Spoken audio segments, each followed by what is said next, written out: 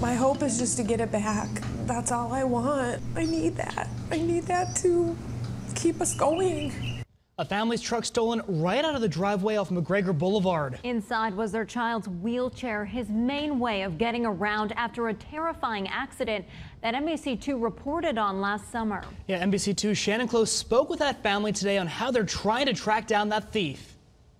Austin Dunn was injured while working at RSW last summer when a lightning bolt struck him, sending thousands of bolts through his body. Austin was hospitalized for months and was released in a wheelchair, which has now been stolen.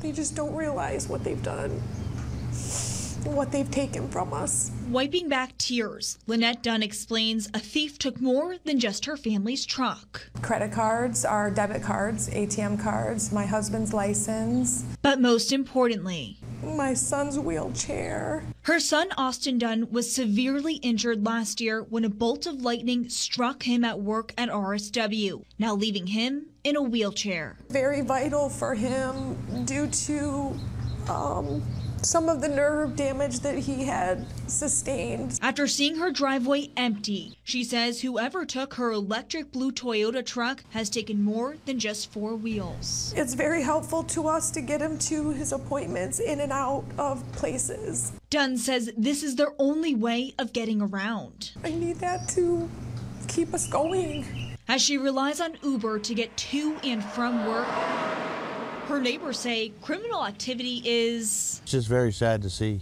Robert Blanchard lives along Ricardo Avenue, just houses down from the Dunns. We've been very, very lucky the last, you know, few years. We haven't had much problems. But now he's looking out We're pretty vigilant as far as looking out for one another. and locking up. Do not keep anything valuable in your vehicles.